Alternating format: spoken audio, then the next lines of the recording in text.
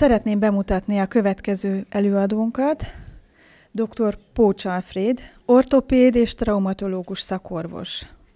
Nekem nagyon tetszett az arcpoetikája. Az orvos a beteg ember ügyvédje, és a Jóisten teremtett világának, az életnek az őrzője. Az orvosok a tisztánlátásért mozgalom egyik vezéregyénisége, a Hunfokos Szövetség elnöke, Egerben önkormányzati képviselő, az új MOK, azaz a Magyar Orvosi Kar alapítótagja, a Skita Egyesület társalapítója dr. Tamasi Józseffel, aki szintén élharcosa a Covid-terror elleni hadjáratnak. Köszönöm szépen. Csak egy pár gondolat, a Föld nincs túl népesedve. Picit sűrűbb összeállítjuk az embereket, egy balatonyi területen elfél a 8 milliárd ember. Tehát ez játék az egész a Földdel, amit mondanak, hogy túl van népesedve. Ha megnézem, Mongóliába most jártam nem olyan régen, két ember jut, nem tudom, 100 négyzetkilométerre körülbelül, tehát szinte az egész, egész, hogy hívják. Tehát amit itt mondanak nekünk, meg amit csinálnak, ez mind megvezetés, és majd erről egy picit beszélgetünk. A készpénzről, hogy valamit, mivel ez a téma még erről nem beszéltünk, tehát a készpénz érték. Ha a készpénzt elveszik, akkor a vagyonunkat veszik el. Ugye azt céloztunk arra, hogy már a bevezetésnél itt, Mónika, hogy ugye cél, hogy nem lesz semmink, elvesznek minden tulajdont, és boldogok leszünk, mondják ők. Csak mi ezt nem hisszük el, mondom senki. Tehát a készpénzre mindenféleképpen szükségünk van, tehát most erre hívom fel a figyelmet én is, hogy aki itt eljött, adja tovább mindenkinek, hogy ha lehet, mindenhol készpénzzel fizessünk. Hogy megmaradjon ez az érték. Most még nagyon jól állunk, mert még olyan 70% a készpénzfizetés hiába dumálnak, a Magyar Nemzeti Bank már megjelentette azt, hogy holnap már átáll a, a pénzkivonás és a digitális, hogy hívják rá, gyorsan, tehát itt Magyarország nagyon aktív ebbe, hogy átálljunk. De vannak pozitív dolgok is, például most legutóbb olvastam, Svédország, ahol 98%-a volt már a digitális pénz, és 2% a készpénz, most olyan rendeleteket hoztak gyorsan, hogy vissza kell állítani a fizető, készpénz fizető automatákat mindenhol, és az emberek fizessenek készpénzzel, mert rájöttek, ha, ha ez bekövetkezik, akkor onnantól kezdve elveszik a pénzünk. Ha nem a zsebembe van, nem a kezembe, nem otthon a párnám alatt, akkor gyakorlatilag bankba azt csinálnak vele, amit akarnak. Ha csak megemeli 200%-kal mondjuk a kezelési költséget, jó van, nem tudok mit csinálni. Lehet, hogy ki se adja, ha ki akarom venni már mondjuk fele elmegy a pénznek.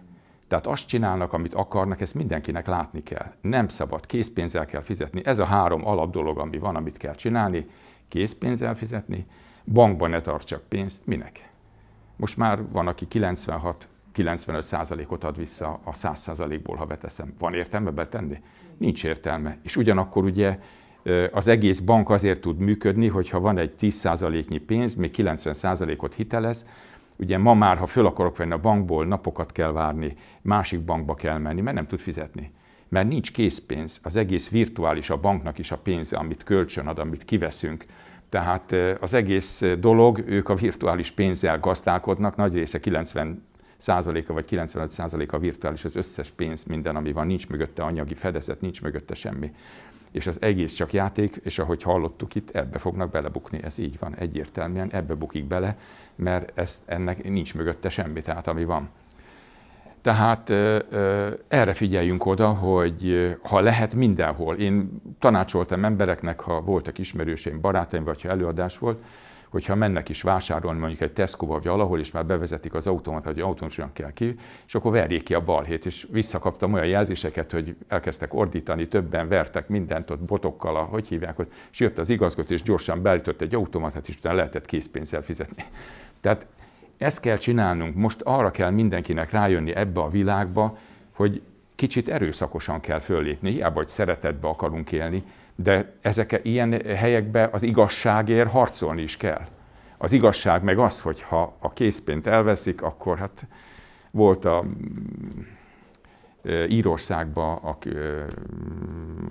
professzor asszony, aki hozzánk állt, és mivel átállt a oltás ellenesekhez, ezért most már több mint két éve nem kap nyugdíjat. Beleölt minden pénzt a nyugdíjába, a bank visszatartja. Ha most ebbe a körülményeket vissza tudja tartani, Akkor mi van akkor, hogyha már nincs készpénz, hanem csak digitális pénz van, akkor azt csinál, amit akar. Kínában, amit csináltak, ugye, hogy elkezdték pontozni az embereket, ha nem felelt meg a pontrendszernek, kizárták az utazásból, mindenhonnan ott már a QR kóddal működik minden, a WC-be se tudok bemenni, hogyha nincs érvényes QR kódom.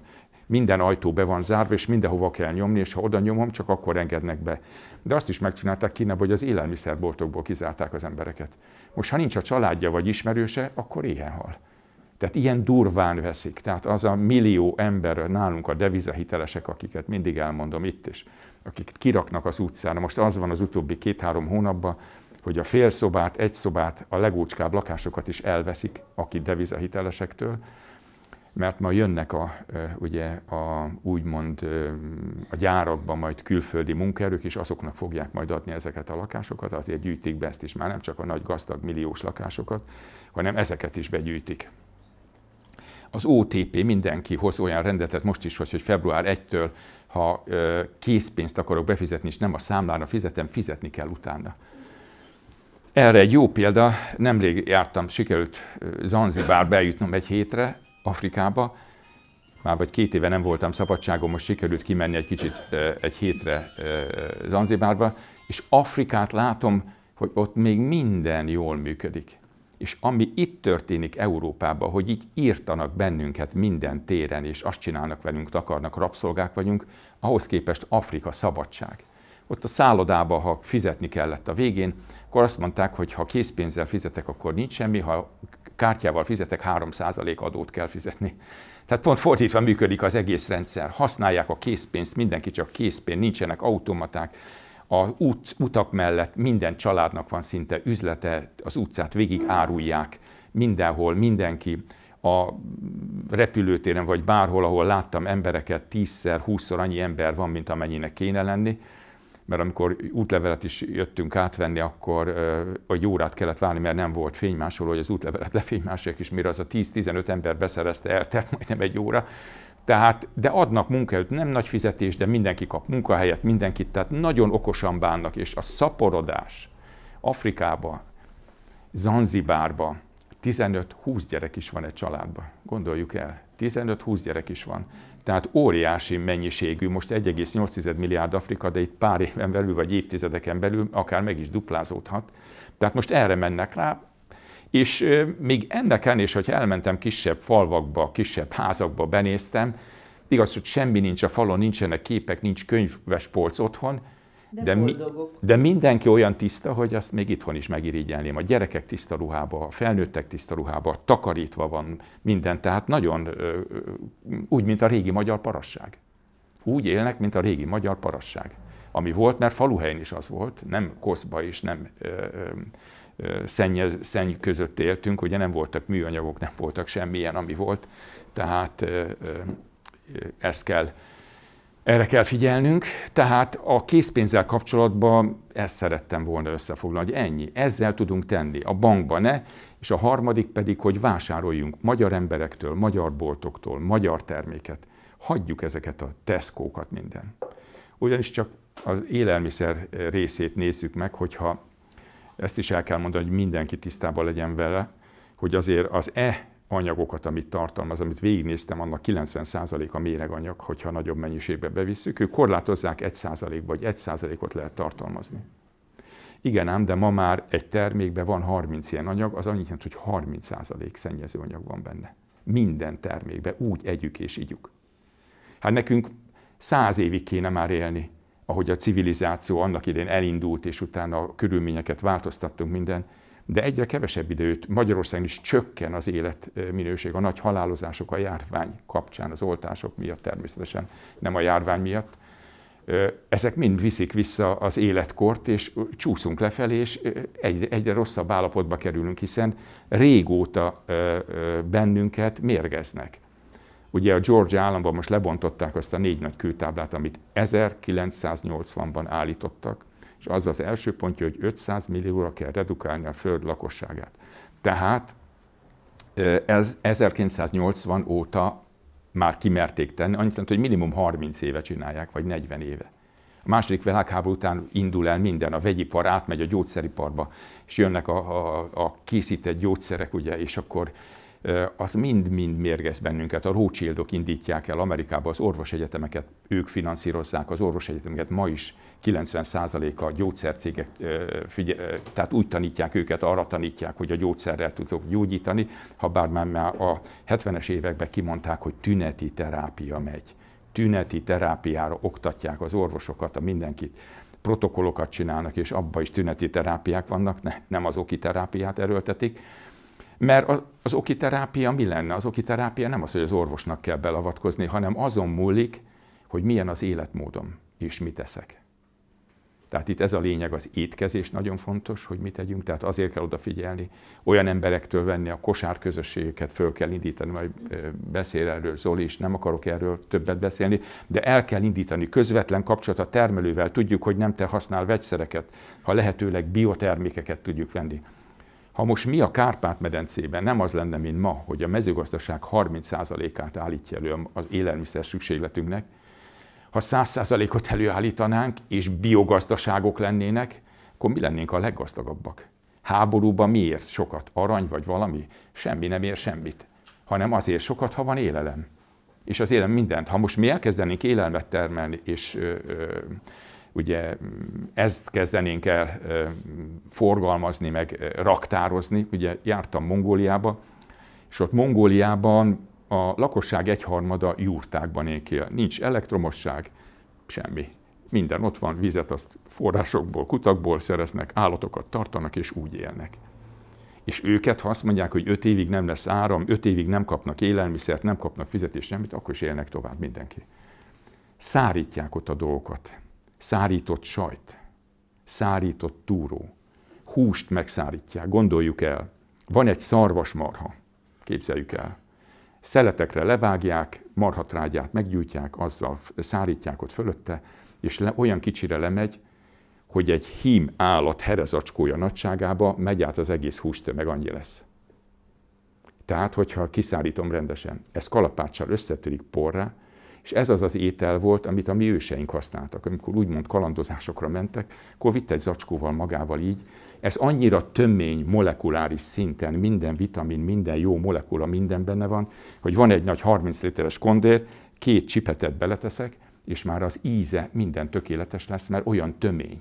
Tehát besűrűsödik a húsnak mindene, és ezt lehet. Tehát ha, ha ilyenekkel ellátjuk magunkat, akkor nem lehet ijeszgetni bennünket, hogy most halmozzunk fel ezeket a rossz élelmiszereket, a konzerveket. Minden meg kell szárítani. Nálunk úgy épült fel, valamikor. Azért voltak kutaink, kútba letettem én is dinnyét, mindent le lehet tenni, ha már tizenvalahány fok van, a fehérje bomlás megállik, minden megáll, mindent lehet, a pincébe levisszük 10-12 fok, mindent lehet tárolni. Tehát a őseink, a régiek hűtőszekrény nélkül is, ha nincs elektromos, akkor is tudták, és az élemet lehet tárolni hosszú ideig. Zsírba lefagy, vagy a zsírba beteszem a húst, meddig, akár meddig eláll, hogyha elteszem. Tehát megvan ez a mód, és nem kell félni. Mert itt két dolog van, amivel bennünket sakba tartanak leginkább. A legfontosabb a félelem. Félelem az, hogy a média mit sugároz, a politika mit mond, ettől nem kell félni. A média mondja, hogy hú, ha jön a háború, akkor nem lesz élelem, nem lesz semmi, éhen fogunk halni, akkor jön a járvány, majd ugye most is ijeszgetnek, hogy jön majd az X vírus, 20-szor annyi halott lesz, nevetséges az egész. Nehogy elhiggyék, mert ez a járvány arra volt jó, hogy nem a vírusba nem a járványba haltak meg az emberek, hanem a kórházi ellátásba. Hát kihalt meg, egy pár ember meghalt a járvány kapcsán, de ha bevitték kórházba, az intenzív osztályon 95%-a meghalt az oxigén lélegeztetőgépeknek. Ezt a tudománynak, meg mindennek elfogadni, hát ez lehetetlen, gondolják el. Pestis járvány, bármi volt régen, 10%, 20%, 30% halott mondjuk az volt a legtöbb, ami valaha volt. Itt meg 95 százalék. Persze, nem megfelelő anyagokat adtak, gyógyszereket, méreganyagot, kutyafüle, bezárták, lélegez, egészséges tüdővel lélegeztetőgépre teszik. A félelem itt is, ami az volt, volt, aki 92%-os szaturációja volt, és kérte, hogy oxigénet tegyék, rátették, de egészséges tüdőt szétnyomták, szétroppant. Mert dolgozik az izom a nyomás ellen, és szétszakad a tüdő. Tehát e, e, itt, itt ezt kell látni, hogy ez van, de nem kell megijedni. Az egészből a tanúság az, hogy az Isten adta immunitásunk. Olyan csodálatos lények vagyunk, mindenki, aki itt van, Isten teremtményben. Itt is látom, Afrikába elmentem. és a legjobb érzésem az volt, még nem jártam soha ilyen területen, ennyi fekete embert nem láttam, ugyanolyan Isten teremtményei, mint mi. Ugyanolyan csodákra képes. Esténként csináltak műsorokat, akrobaták jöttek, népzenészek, néptáncosok csináltak. Olyan akrobata mutatványt láttam, hogy sehol a világon nem láttam. Google az ember, és akkor föláll és hátra veti magát. És akkor kézre szoktak jönni, és onnan föláll. Ez hátravetette magát a fejére, és a fejével billentett egyet, és fölállt a lábára. Vagy mit tudom én, két ember egymás nyakába volt, jön a harmadik, és a feje tetején megállt a harmadik, de nem volt ilyen karika, mint szoktak tenni a, itt Európában, meg a világon mindenhol, hogy megálljon a feje tetején, egy ilyen karikát tesznek, hogy az ö, ö, támasztja. Szóval olyan csodálatos dolgokra képesek, ezek a népek, akik itt voltak, ugye Tanzániában, a tanzán népek, akik ugrálnak így, ugye a maszályok, a maszájtörzs, fél méter, 70 centit is tud helyből ugrani olyan adottságai meg minden van, ezt kell látni, a világon mindenhol Isten teremtményei vagyunk. És azért kell összefognunk, és azért kell valamit tennünk, mert nem hagyhatjuk, ott vannak a devizahitelesek. Már több mint tízezer ember lett öngyilkos. Ez a kormánynak a lelkén szárad. Mennyi ember hal meg? Én annak idején kérdezgettem, hogy miért 35 ezer ember van, akik állandóan nincs lakásuk és kint laknak a, mindenhol, ahol vannak ezek a hontalanok. Ugye, mert két héten belül majdnem mindenki meghal, vagy legalábbis 50%-a meghal azoknak, akik kitesznek a rakásából. A magyar ember ahhoz szokott, hogy van lakásom. Értető? Van lakásom, vannak értékek benne, vannak a nagyszüleim hagyatékai, van minden hagyaték, ami van, és az nekem az élet. Ha megfogom azt a tárgyat, érzem a nagyszüleimet, érzek mindent, és megőrzöm ezeket. És ezt, ha elveszik, a lelkét ölik meg. És ezt csinálják tudatosan. De nem csak ez, az inflációs üzemanyagár. 600 forint most is. Hát nem mire föl? Mi? Hol? Háború? Hol van háború? Hol mi? És senki nem tiltakozik, mindenki veszi az üzemanyagot. 70 a adó az üzemanyagnak. Ha azt mondta volna Orbán Viktor, hogy ne, akkor nincs, akkor 200 forintért lehetne adnia. Nem eltekintek az adótól, 200 forintért vehetnénk az üzemanyagot. Miért nem adja? Miért minden adó, minden, mert része. Azt csinálják, amit a nagy világhatalom rendel, szórul szóra Magyarországon. Pénzelvonás, pénzelvonás, magántulajdon elvonás és népírtás. Ez a harmadik, amit csinálnak, a népírtás. Az egészségügy erről el is mesélhetnék órákat, csak nem akarok sokat mesélni, de, de ez folyik. Belügyminiszter rendelkezik az egészségügyön, és olyan rendeleket hoz, hogy menekülnek az emberek az egészségügyből. Ki lehet rendelni mindenkit, holnap azt mondom, nem ide jössz dolgozni most Debrecenbe, mész Zalegerszegre. És akkor ott a gyereke, családja mit csináljon? Egy hónapra kihelyezik Zalegerszegre. Hát ez most, Tessék, hát szóval, ez, persze, hogy ott hagyja a munkáját, átmegy magánba, átmegy mindenbe. Az állam meg azt játszik, hogy mindent áttesz a magánegészségügybe, és hogy minél kevesebben menjenek az államba, hogy többet fizessenek a, ugye, olyan várólisták vannak, hogy egy műtétre már két-három év is van. És azt mondják, hogy fél év, mert meghamisítják a statisztikákat, meghamisítják a statisztikákat.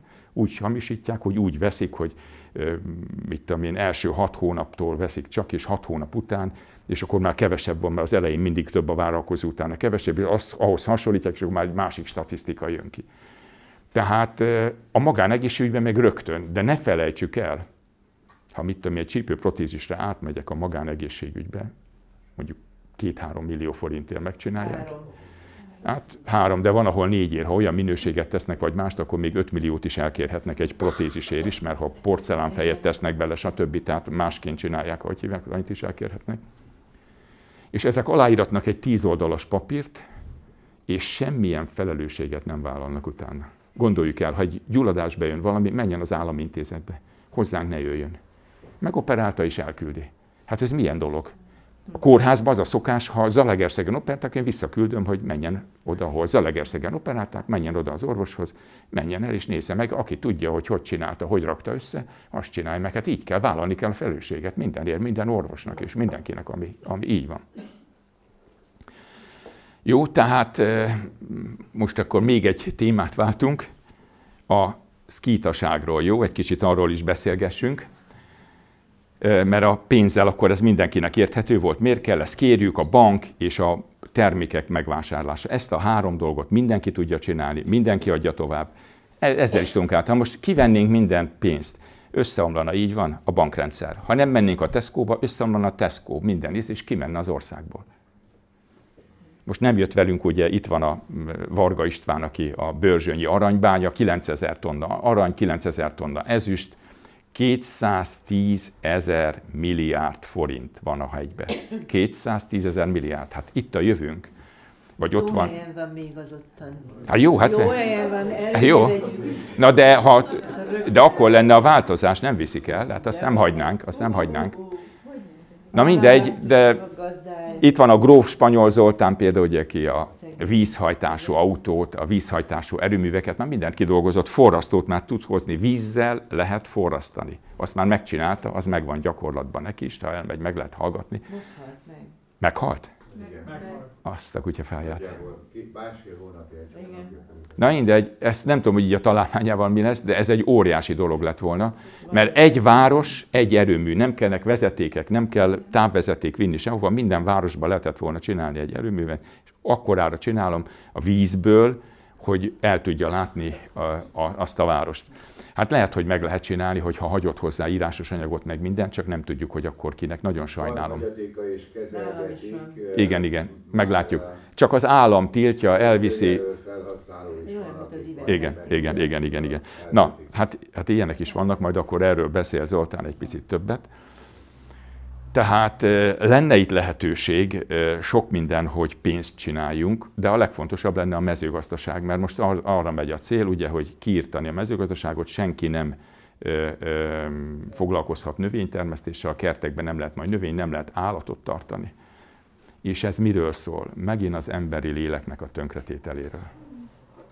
Isten teremtett világában mindennek van lelke.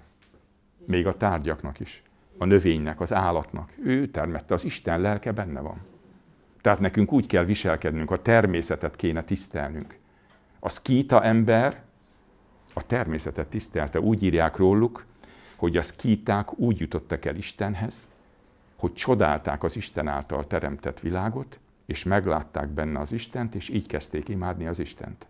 Tehát a szépség által, a teremtett világ által, és így csinálták. Így van leírva, hogy így, így készítették el. És védték. Ha valaki belepiszkolt egy tóba, vagy egy folyónak is, isteni neveket adtak, és akkor, ha valaki belerontott, vagy bármi volt, azt akár ki is nyírták. Tehát igazi környezetvédelem volt, nem úgy, mint ma, hogy ami van, hogy valami. Meg nem is az, hanem benne volt már a lelkébe a szkíta embernek, és nem csinálta meg. Tehát aki megcsinálta, az meg is érdemelte, mert azt ki kell szelektálni. Itt is nagyon kéne már, hogy ö, ugye lennének kardunk, és akkor a régi világban mindig le, mes, úgy lemetszik a fát és a vadhajtásokat. Itt is le kéne a vadhajtásokat metszeni, mert annyi a vadhajtás, hogy most már itt a vadhajtások uralnak mindent ebben a világban. Tehát itt a szkítaság, volt a kezdeményezésem, lehet, hogy hallottak, lehet, hogy nem egy röviden megemlítem, tehát, hogy a szkítaságot ismerjék el nemzetiségként, hogy ugyanezt, amit itt hallottunk, megalakítani a szkíta önkormányzatokat, ezt szerettem volna, országos hálózatot képíteni, ugyanúgy, mint az önkormányzati hálózatot. Nagyon egyetértük, én ezt, ezt forszírozom most is mindenhol, ahol van, mindig elmondom, hogy itt az önkormányzati választás, és úgy kell elindulni, hogy pártmentes civilek alkossanak szövetséget, indítsanak polgármesterjelöltet, minden körzetbe indítsanak embert. Az a lényeg, hogy pártmentesek legyenek. Önkormányzat, benne van a megyébe, önkormányzat, én kormányzok. Debrecen városa például. Csak olyan embert, aki nem pártag, mert a pártokat Pestről irányítják, és azt csinálják, amit mondanak. Ugye megválasztjuk, utána többet nem tudunk szólni, nem tudjuk visszahívni, nincsen semmi, amivel tudnánk ráhatni. Semmivel nem tudunk. Tehát önkormányzatokat most ezt ki kéne használni, ezt propagálom majd én is, nagyon szép gondolat, amit itt van. Tehát ha sok polgármester lesz, össze lehet gyűlni, akár alkotmányzás, nemzetgyűlést csinálni, bármit meg lehet csinálni államon belül, de ha most nem engedik a szkítaságot, mi csinálunk, így is már négy vármegyébe van szkíta önkormányzat, többi megyei önkormányzatot is szervezzük, csináljuk, utána a városi önkormányzatokat. Tehát ebből is egy hálózatot lehet csinálni, ez is közjegyző által bejegyzett, tehát a szkíta önkormányzatokat is bejegyezzük, és be kell jegyezni, és be, is jegyzi a közjegyző, mert hivatalosan lehet. Engem sem lehetett volna elutasítani, ugyanis az alaptörvényben benne van, Ha ezer fő összekerült, és azt akarja, hogy ez legyen a, ö, ö, a népcsoport, akkor ezt meg kell adni, nincs mese. Tehát nem lehet, nem lehet ezt csinálni. És ugye velünk azt csinálták, hogy én azért adtam be anyagot, magam is írtam több oldalt, Pap Gábort megkértem, Pap Gábor írt anyagot, Kovács Imre Barna barátom, aki járja a világot, az kítákat, hunokat ismeri, ő is írattam vele anyagot, plusz még írattam négy oldal bibliográfiát, angol és német nyelven, tehát angol és német cikkeket. A, izé pedig jött a levél a, a parlamentbe, az igazságügyi bizottsághoz, a Frany Tamás írta, és annyi van benne, hogy a szkíták 2000 éve nincsenek, és nem lehet ezért engedélyezni, hogy ez meglegyen. És a parlament ezt elfogadta. Semmi indoklás, semmi nem volt benne, tehát óriás ez, megyünk azért bíróságra, majd fogunk menni, és nem fogjuk így hagyni, mert ezt nem lehet így hagyni. Értik? Hát azért a demokrácia, vagy jog, vagy bármilyen jog van. A serpenyőbe teszek ennyit, ő meg nem tesz semmit, és ő nyer. Tehát ezt, ezt gondoljuk át, ez így történt, tehát ez így történt. A szkítaság egyébként legegyszerűbben, hogy mi a szkíta hunavar magyar kapcsolat, ezt elmondom, hogy a szkítát mindenki tudja. Nimród apánk volt a szkíta. Ugyanis Noétól Nimródig ezt a kort az egyház történelem szkíta kornak mondta ugye Epifánius egyházat, hogy Krisztus után a 4. században írta meg az egyházon, meg a földtörténetét, meg mindent, és abban pontosan leírta, hogy Szkítakor, tehát Nimród volt a Szkíta. Az ő egyik fia volt Hunor, a másik Magor, akkor a családban az egyik ága magyar, a másik a Hun. Tehát, hogy Hun, Szkíta, magyar, ez ugyanaz. Egytőről fakad, és most vannak, akik tiltakoznak a szkítaság ellen. Minden esetre megrendítette egy kicsit a politikai vezetést is ugye ez a Skita döntés, hogy beadtam ezt a pályázatot, mert ugye most pár nappal ezelőtt jöttek ezzel, hogy van a Skita Magyarország, most gondoljuk el ezt a nevetséges dolgot. Utána néztem. A Skita Magyarország az a UCC. Tudják mi a UCC? A nagyjából mindenki tudja, ezek UCC emberek. Most ezeket letartóztatják? Hát ezeket mit tudnak csinálni? Semmit. Hát saját szemigazolványuk van, saját igazolványuk van, saját minden, az egész egy színjáték, és a Skítának álcázzák, és a Skíta neve van. Az, hogy ők azt adták, hogy Skíta Magyarország, azt adták, de ők nem azok, nem Skíták, hanem ők a UCC emberei, és azért mernek mondani olyanokat, hogy majd lecseréljük a kormányt meg mindent, mert őket védi a jog. És ezt a nevetséget hogy három embert letartóztatnak, és 150 fegyveres ember, de nem is rendőr, hanem ezeket a készeléti tekkesek, nekkesek, mit tudom én, mindenféle izéket hoznak ide, rendőrség, olyan embereket, akik három ember 88 éves, 68 éves. Hát most, hát nem, ez a megfélem, ez a mi megfélemlítésünkre van. Hú, hogyha majd te is csinálsz valamit, akkor majd mi is, meg, majd így megyünk mi hozzád is, majd megyünk 150 rendőr meg 200 kutya, meg nem tudom mi. Tehát, tehát ez, ez egyszerűen, egyszerűen, és találnak egy légpuskát, egy riasztópisztolyokat, meg nem tudom miket. Hát persze, hogy van légpuska, kinek van légpuska, kinek nincs. Meg találtak ö, lőszert. Hát lőszer magában mit ér? Semmit. Hát nem tudok felelőni. Tehát ezek félelmetes dolgok, és ugye támadják, utána engem keresett a sajtó rögtön, hogy hát én nem vagyok benne, hát én is kita vagyok, hát akkor én mit keresek itt, és ezért keresett. Aztán nyilatkoztam egy jó pár sajtóban, meg egy-két videót is föltettem, majd meg lehet nézni, amit van ezzel kapcsolatban. Mi elhatárolódunk ettől, tehát ez az ő dolguk, hogy mi van, de mondom, de küldtek olyan izét is, amiben engem is UCC-nek, hogy hívják volnak, egy UCC is küldte, hogy én is UCC is vagyok, de hát én ezzel nem foglalkoztam, de most utána néztem egy picit, azért ez egy nagyon pozitív dolog. Ez egy ö, kereskedelmi jogrendszer, tengeri kereskedelmi jogrendszer volt, amit átvettek, és a lényege az jó. Tehát azt mondja, hogy az ember független. Semmivel nem lehet befolyásolni, én mondom meg, a szabad akaratot megadja a UCC tagoknak, tehát amit nekem kell, én, az Isten teremtett engem, én határozom meg, nekem van szabad akaratom, hogy mit csinálok, hogy csinálok, nem lehet megkötni a kezét, nem lehet megkötni semmit, tehát ez egy jó dolog, tehát ez pozitív dolog, ezt is lehet mondani, csak nem tudom, hova vezet Magyarországon.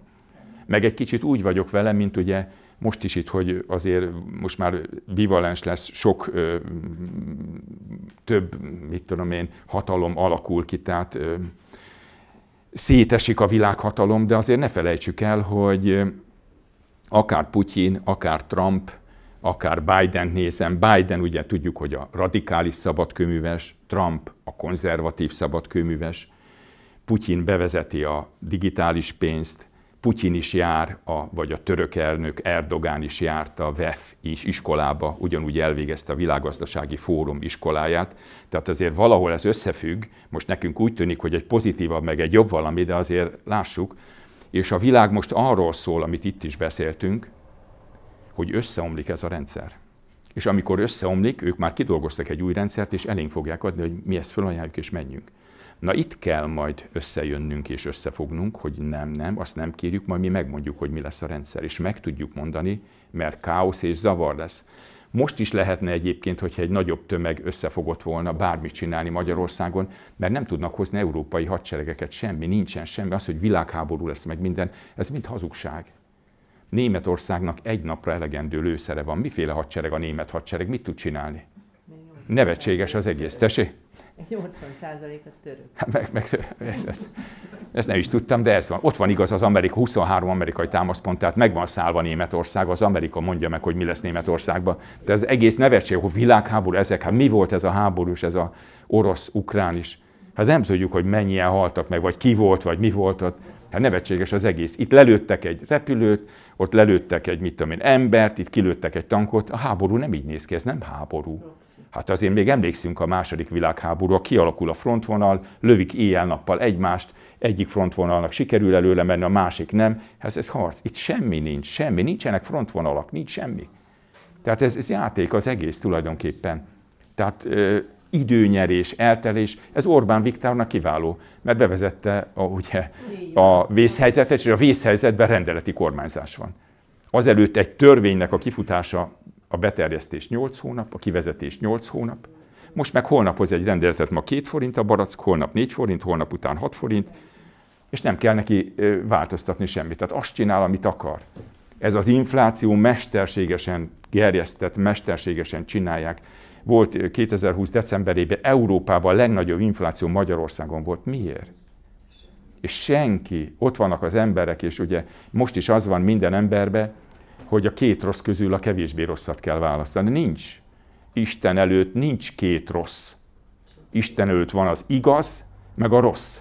Nem választhatom a hazugot, a rosszat, a kevésbé rosszat, aki nem annyira gyilkos. Mert az egyik pillanatban gyilkos mind a kettő. A devizahiteleseket mind a kettő nyírta. Nem Gyurcsány találta ki a devizahitelt, Orbán idejében indult el a devizahitel. Ők hozták a, a, a határozatot. Most is ugye Európában megszületett egy határozat egy fél évvel ezelőtt, hogy minden devizahitelest eh, el kell törölni, és kártalanítani kell. És Magyarországon, Európában mindenhol alkalmazták, csak Magyarországon nem. Pedig ez egy EU-s döntés volt. Tehát, eh, és én ezeket nem tudom, mint orvos is látom, a rengeteg beteg meghal. Én az tartja bennem a lelket, hogy azért harcolok, mert minden ember számít, minden magyar ember érték. Mindenki kapott a Jóistentől valami pluszt, ami senkiben nincs csak benne. És ha közösségbe állunk, ezeket a pluszokat össze tudjuk rakni. És attól tud egy közösség erős lenni. Hogy olyan tudás és olyan tapasztalat van benne, ami sehol máshol nem tapasztalható meg. Érthető? És az a lényeg, hogy mehetünk mi más úton mindenki. Egyik ezen úton, azon az úton, mint a Teremtő Istenhez is. Mindegy, hogy én hogy megyek, hogy Jézus Krisztusi úton, vagy Mohamedán, vagy bármi vagyok, ha az isteni úton haladok a Teremtő Isten törvényei szerint, akkor eljuthatok hozzá. Érthető? De nekünk, aki mi keresztényeknek születtünk, nekünk a Jézusi úton kell haladni, tehát ezt kell megvédeni. Na most erről mondtam, ugye, ahogy elkezdtem, egy kicsit elhúztam, de mindjárt majd befejezzük, tehát az egyik a félelemkeltés a másik meg a kényelem, amivel hatnak. Tehát bele megyünk abba, hogy most kényelmesebb, veszünk új autót, új mosógépet. Minden mosógép egyre rosszabb, ugyanis minden mosógépbe kicserélnek alkatrészeket műanyagra, hogy egy év alatt, fél év alatt romlik el, egy év alatt minden üzemben van egy ilyen osztály, mérnöki osztály, akik ezen dolgoznak, hogy fél év, egy éven belül legyen új mosógép. Tehát ne, ne vegyünk újat, ne vigyük el. Most ki akarják vinni az autókat? Most Spanyolország, Franciaország, Olaszországban megszületett az a határozat, hogy ők elbírálják majd, hogy érdemes az autókat újra ha tönkre megy, baleset éri, bizonyos évet elér, tíz évet, öt évet, lehet, hogy nem fogják hagyni, hogy öt év után legyen autó. Hanem ezt ki kell. Azt ők elviszik, és mivel nincs pénzem újat venni, nem lesz autóm. Itt ez a lényeg, ilyen helyzetbe hozzák az embereket.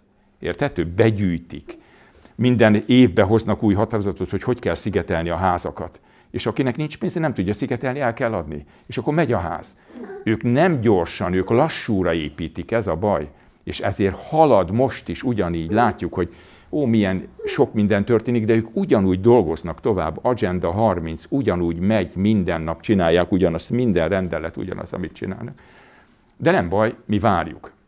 A másik, amit még akartam hangsúlyozni, ugye tehát, tehát kényelem és félelem ez, a, ez az eszközük. Ezt ne fogadjuk el, ezt a politika és a média irányítja. Politikán és a médián. Ne higgyünk a médiának, kapcsoljuk ki a tévét. Én 25 éve nem nézek tévét. 25 éve. Higgyék el, semmi értelme. Nincs kötöttség, este hazamegyek, régen beültem fél nyolckor, jaj, épp hazaértem, akkor gyorsan a híradót meg kell nézni. Ma már nincs ilyen hazugság a híradó, úgy is eljut, van most már digitális, mit tudom én, mindenkinek telefonja, mobiltelefonom van, nézni, úgy is eljutnak a hírek. Nem kell ülni és nézni. Megküldi valaki, eljön oda. Tehát nem szabad mert a médián keresztül tudják a tudatomat befolyásolni. Hát már Japánban 80-as években volt olyan, hogy gyerekfilmek, rajzfilmeket csináltak, vagy bármit, vagy más reklámfilmeket, vetítenek a tájat, és akkor betesznek két üveg sört mindig. Az agyam észreveszi, hogy a két üveg sört, és a végén mindenki megy sört inni, mert azt látta, hogy sör van, és megszomjazott a sörre. Ilyeneket csinál, bármit lehet az aggyal. És akkor még nem beszéltünk itt az 5G-ről, majd arról is egy-két szót még mondok. És a másik lényeges még, hogyha a világot nézem, még két dolog van, amivel ö, ö, hatnak ránk, megveszik a tudományt. Gyakorlatilag azt lehet mondani, hogy 90% a tudománynak meg van véve. Az orvosi cikkeket szoktam nézni. Az orvosi cikkeket megveszik a gyógyszercégek. És ha olyan van, ami nem az ő izéjük, azt megveszik, és fizetnek egy csomó pénzt az orvosnak, és elviszi, és nem lehet közölni, nem lehet vinni. Mert aki megvásárolta, akkor az nem mehet bele az újságba, nem mehet sehova. Amit meg ők akarnak, azokat meg nyomják, pénzen megveszik, és így csinálják. A tudomány semminek nem, nem, nem szabad hinni. Én megkaptam a lapos földdíjat, amit a orvosi de azóta már kezdek hinni a, a lapos földbe, és csak azt nézzük meg, hogy az ENSZ-nek és a WHO-nak a címerébe két lapos föld van. ENSZ és a WHO miért? Miért nem gömbölyű föld? Miért lapos föld? Na mindegy, tehát el kell olvasni. és ugye Patrubány Miklós úr mondta, hogy megkapta a szabadkönyvestől a történelemkönyvet, az 4000 oldal, és ők egy millió évre mennek vissza. Tehát ők így gondolkoznak, hogy egy millió éves történetet. Tehát, tehát lehet, még tovább is lehet menni, de mindegy, ők, ők így próbálják. Jó? És a negyedik pont, ami nagyon fontos, az pedig a vallás, hogy megveszik a vallást. Tehát van egy pápánk, aki szabadkőműves, az egész Vatikán szabadkőműves, három város uralja a világot szinte London, Washingtonnak az a része, és Vatikán. Vatikánban van a legnagyobb bank, nem a papok csinálják nyilván, de ezen a területen ott van ez, akik csinálják és viszik ezt tovább. Csak egy kis történet, hogy azért a buddhistákra se gondoljunk mondjuk, a dalai lámára se gondoljunk úgy. Egy ismerősöm volt, akinek fogadott fia volt Nepálban, egy buddhista pap, és mondta az oltás alatt 2021 közepén, mikor bevezették az oltást, háromnapos rendezvényre meghívták őket, zene, tánc, ima, minden volt, ami kell, és a harmadik nap, mikor extázisba jöttek, megjelentek az oltók, és minden egyes papot beoltottak egy se kivételével. Na most mi a különbség a dalai láma, és mi a különbség a római pápa között? Semmi. Na ezt kell látni tisztán. Mindenhol, mindenhol ez megy. A Kínába, hát ez Kínáról nem is beszélve, ami van. Tehát nevetséges ez a szkítaság, mi csináljuk tovább, a szkíta önkormányzatokat itt is javaslom, Debrecenben is legyen már egy szkíta önkormányzat, elég a 35 fő összejön, megyei szinten meg lehetne szervezni. Van itt jelentkező, aki esetleg, mert küldünk papírokat, ha kell. Jó, gondolják át. Induljunk el, legyen, Debrecenben még nincs uh, szkíta önkormányzat, csináljuk meg, legyen, és utána egy országos hálózatot képítünk, utána kisebb városokba csinálni, és képíteni egy olyan rendszert, amiről hallottunk. Vagy a polgármestereket megválasztani, azt is lehet, minden faluban mindenki mondja el, indulni. Itt az a lényeg, ha elmondom, hogy pártmentes, civil önkormányzat, az emberek már utálják a jobb oldalt, bal oldalt. Hát mi különbség van a jobb és bal oldal között? Semmi. Sajnos itt Debrecenben még mindig nagyon sok ilyen idióta van. Nem csak az, hanem a vezetés meg van szállva. Tehát itt a, a 100% Budapest iránt, és ugye Debrecen szabadkőműves város, ezt tudni kell. Én mikor egyetemista voltam, akkor volt egy urológus kollégám, aki írt könyveket, nagy, minek is hívták? Nagy Attil. Hát ő már akkor leírta, hogy a, a szabadkőművesek megszállták. A nagy templom előtt piramis, meg minden, ami van. Tehát ez így van, ezt nekünk meg kell szüntetni, tehát össze kell fogni mindent, ami van, tehát ezekre figyelni kell. Jó, és akkor, ha van kérdés, valamit, valamit akartam, még fontosat, még megnézem. Az új mokról akartál még két mondatot mondani? Na, még, még annyit akartam, hogy a királyságot most Egerben megszerveztem, tegnap volt a megnyitója, mint képviselő meghirdettem Szent Korona rajzpályázatot általános iskolás, középiskolások gyerekeknek megyei szinten. Jó? Kérem, hogy ebbe is, Debrecenbe is, Hajdú-Bihar megyébe is, meg ahol vannak ismerősök, mondják, hogy mindenhol rendezzenek Szentkona, mert a fiatalságot hozzá kell kötni. Csodálatos rajzok jöttek be általános iskolásoktól, középiskolásoktól, tehát ez kell, ez a jövő. Ők királyságba gondolkodnak, a világot felosztották hagy királyságra, Európa egy királyság, Rothschild család a királyság, de mi ezt ne fogadjuk el, csak mondok egy példát. De mit csinálunk már, bocs, hogyha rárakják a... Mi a Szent Koronával jövünk? Nem, nem, nem rakhatják rá. Ó, hát hozzányernek. Hát, be... Simán. Ne, ne, ne, ne. Azért, azért én nem hagynám, az életemet adnám. Tehát mi a Szent Koronáj, aki, aki elkötelezett a Szent Koronán, az életét adja ezért. Tehát ez, ez így van, ezt nem, kell, ezt nem lehet, nem lehet megcsinálni. A norvég király ugye globalista, transzneműkeket szeret, ami ellenkező minden. Hát ezek a királyságok, ezek nem. De nekünk van egy szent királyságunk, ami két nap alatt megváltja a világot. Mivel minden jogforrása, minden tulajdonforrása, minden jogforrása az összes EU-s jogot mindent egy nap alatt törölni, minden tulajdont visszavenni mindenkitől, és a korona lesz a tulajdonos, és csak birtokosok lehetnek, de azt már mi jelöljük ki. Tehát csak ezzel lehet megváltoztatni a világot. Ezt mindenkinek mondjuk, csak a szent koronatani és a történeti alkotmány. Semmi nem tud. Olyan beépített jogrendszer, olyan katonaság van, és nem így kell, mint ellen, hanem valamiért kell hozni, a szkítaságért, valamiért kell fölállni, nem ellen, mert ellen nem tudunk menni, mert övék a fegyver, övér minden, tehát nincs értelme. Jó? Energetika szempontjából sem Jó. jó valami ellen, hanem valami. Persze, persze, persze. Jó, akkor részemről be is fejeztem. Van még egy mok, amit csak egy mondatot mondok. Megalakult egy orvosi kamara, egy másik a ö, oltatlan orvosok közül is. Azt is fogjuk majd propagálni, és ott is próbálunk majd elérni dolgokat, úgyhogy Gyerekoltás. jó. A gyerekoltásokat 28-án, akit érdekel, jöjjön föl, a Lurdi házba lesz, folytatjuk tovább a gyerekoltásokat, lesznek kivezető eladások, minden lesz. Ha nem tudnak följönni, nézzék meg, föltesszük videóba, tehát lehet nézni. 29-én a Skita Szövetség csinálja ezt a konferenciát, és azon erről lesz szó. Jó, köszönöm szépen!